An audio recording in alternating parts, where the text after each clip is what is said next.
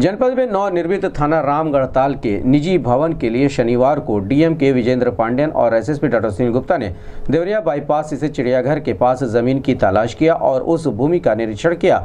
इस दौरान SP city doctor कौस्तुम, थाना प्रभारी सहित अन्य कर्मचारी मौजूद रहे। आपको बता दें कि चिड़ियाघर वाटर स्पोर्ट्स जेटी सहित अन्य पर्यटन स्थलों तथा नागरिकों की सुरक्षा के मद्देनजर रामगढ़ रिपोर्टिंग पुलिस चौकी को थाने के रूप में परिवर्तित कर दिया गया है, जिसके लिए नए भवन की ज़रूरत है। जिसको लेकर प्रशासन द्वारा भूमि की तलाश की जा रही है, जिसके मद्देनजर शनिवार को डीएम और एसएसपी ने चिड़ियाघर के पास भूमि का निरीक्षण किया, जिससे जल्द से जल्द थाना का निर्माण हो सके।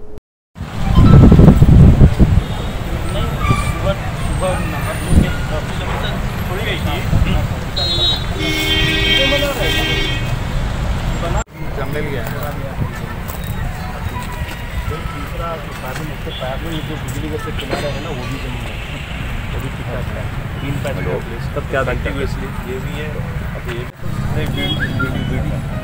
दोनों में सर में नाम दिख रहे हैं इसका पास आपको ये भी दे देंगे ये भी रख लो ये भी रख लो ये रखो ये रखो फिर आगे यार वो सामने वाले हैं ना ये उसको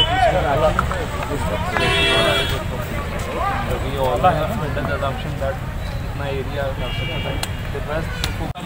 सामने वाले को बाकी पीछे सर नौका विहार चौकी वहाँ शिफ्ट हो जाएगी तो अभी नौका विहार चौकी वहाँ हो जाएगा।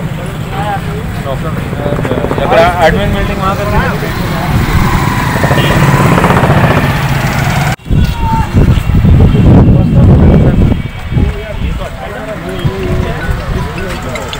एडम ये ले।